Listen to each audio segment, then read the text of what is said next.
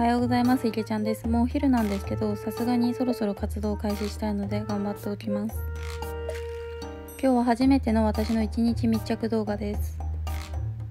1日ずっと寝て過ごすこともあるんですけどそれだったら動画的に面白くないので頑張っておきます。手足をバタバタさせて気合です。なんとか起きたら昨日の深夜に自販機で買っておいたイロハスに青汁の粉末を入れます。最近は結構健康を意識しています。ただちょっと水を飲んでから粉末を入れたらよかったんですけどそのまま入れてしまったので溢れてきてしまいました。朝から非常に汚いです。え今日という私の一日善と有望の逆なんだが。私はまだ年齢的に22歳なんですけどなぜか起きた瞬間から体が疲れているので活人を飲みます。活人本当に寝起きが悪くてずっと疲れているのが最近の悩みです。おばあちゃんの重い腰を上げたら洋服に着替えてちゃんとメイクをします。で髪も整えてやっとこれで今日という一日が始まりという感じがします。ちなみにこの時すでに15時半です。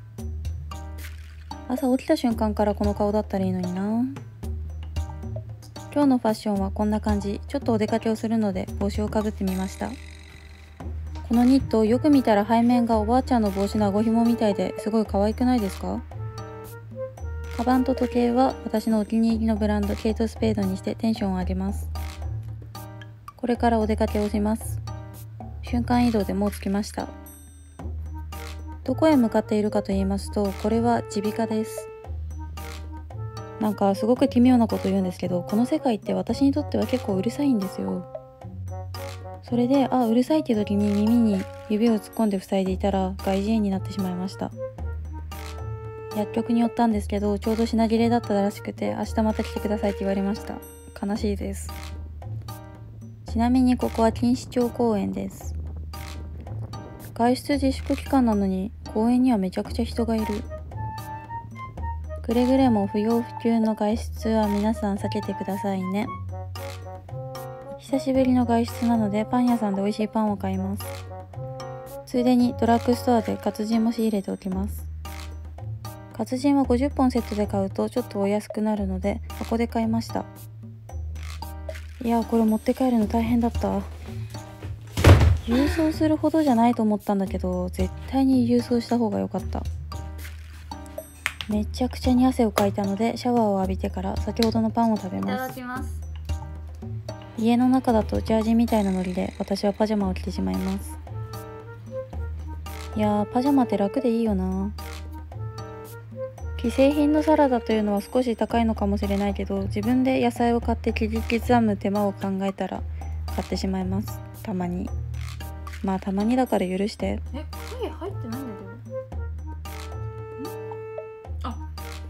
これ快楽さんサラダじゃなくて具だくさんサラダじゃん。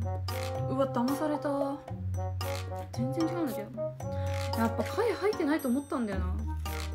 パンは3つ買ってきたんですけど私は固めのパンが好きですね。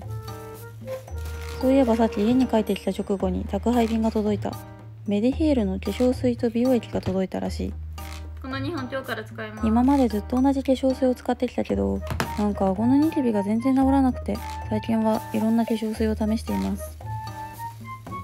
ここで味変タバスコ野菜のトマト煮込みみたいな見た目になりました。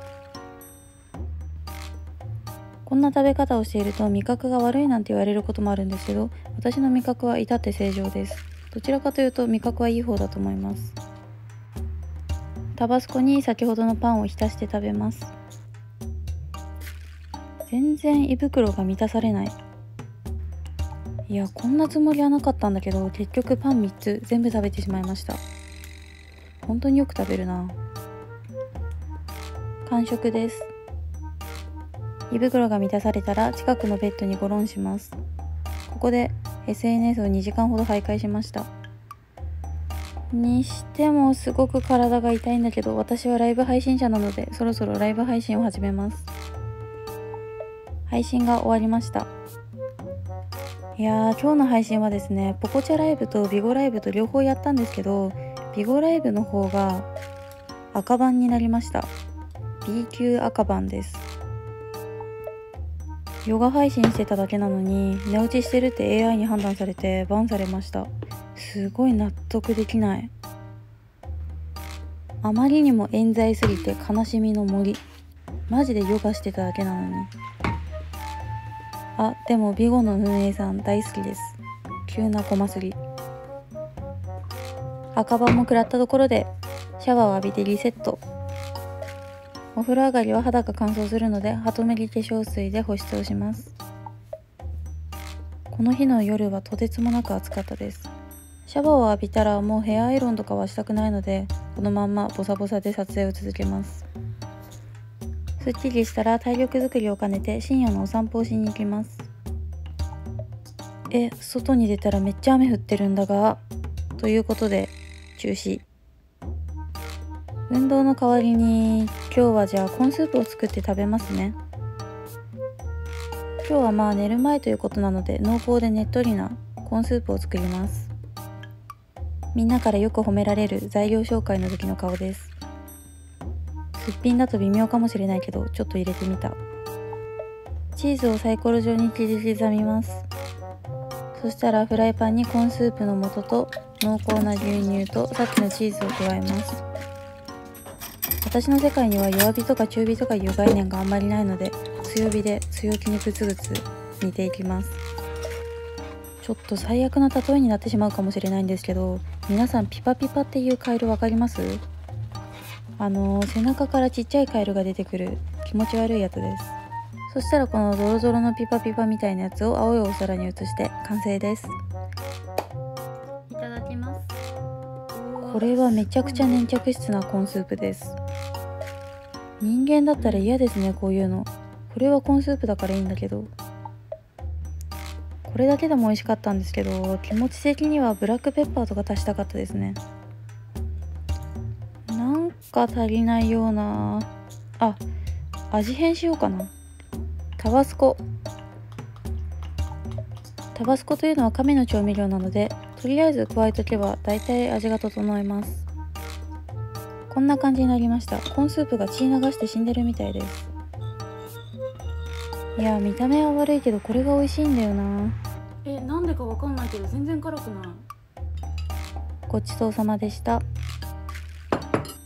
夜食を食べ終えたら開けるまでスマホをいじります。